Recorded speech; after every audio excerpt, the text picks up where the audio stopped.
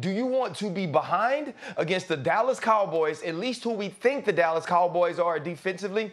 Absolutely not. But when you have some of the skilled players around you that Brock Purdy does, when you have Kyle Shanahan calling and diagramming plays, and you've played as much football, even if it's just not in the NFL as Brock Purdy has, you believe in yourself and you believe in this offense, and that makes me comfortable with him in that situation. Look, let's talk about how unlikely this is. I tweeted last week that this is the unlikeliest story we've ever seen, and Kurt Warner got all over me on Twitter. so here's what I would say to Kurt. His origin story is the unlikeliest in NFL history, right? But the year that they won the Super Bowl, Kurt Warner Kurt was the MVP Warner was of 76. But, but, what's that? He was 76 years old. Uh, exactly. No, but here's the point that Kurt Warner was the MVP of the league the year that they won that Super Bowl. Brock Purdy hadn't played in a game yeah. two months ago, and now all of a sudden he's going to lead this team to a Super Bowl championship. If he does it, it's different. Kurt, no disrespect, you're still. they made a movie about it for crying out loud. Yeah. Can Brock Purdy win this game if they needed to be on his shoulders?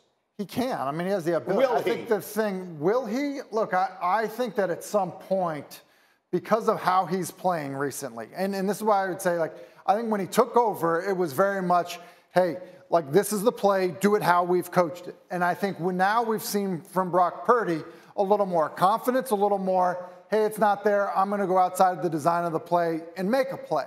And I think that he's gotten away with that so far. It's been good for the Niners. Go watch the, the game against Seattle. That's not just everything right on time, it's more creating you get into trouble as a quarterback doing that, and you learn from those mistakes in doing that. If he tries to do that against this Dallas team, I think that's where it becomes an issue. Well, but what are we hearing sure. out of there? What, what, what, are we hearing about the Kyle Shanahan, Brock Purdy of it all? That it, we obviously see that it's working, but I go back to Trent Williams when Purdy took over. First quote he gave to reporters was, "This guy has it. We believe in him." And I remember thinking, "What? What is he talking about?" And, and Trent Williams has never been that type of player that just is going to say it to say it there's something behind that, right? So they've seen something. He has a way about the about his presence with this team that's made them believe that he can do it, and maybe he can come through in the big moment. Ninko, when you were in New England, your mm-hmm. defenses and Bill Belichick just destroyed rookie quarterbacks. There's a, all sorts of statistical.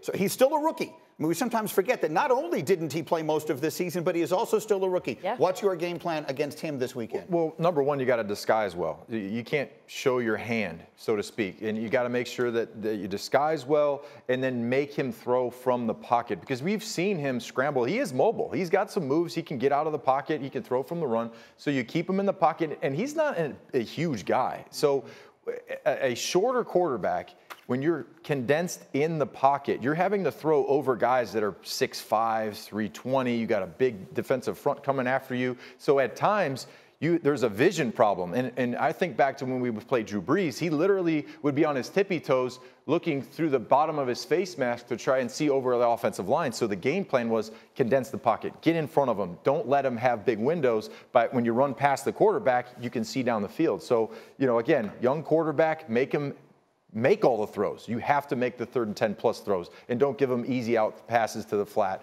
to like uh, McCaffrey for easy first down. So looking at divisional weekend, we could break it down like this. The NFC games are about the storylines. Mm. The AFC games are about the superstar quarterbacks. Thank you for watching ESPN on YouTube. For live streaming sports and premium content, subscribe to ESPN Plus.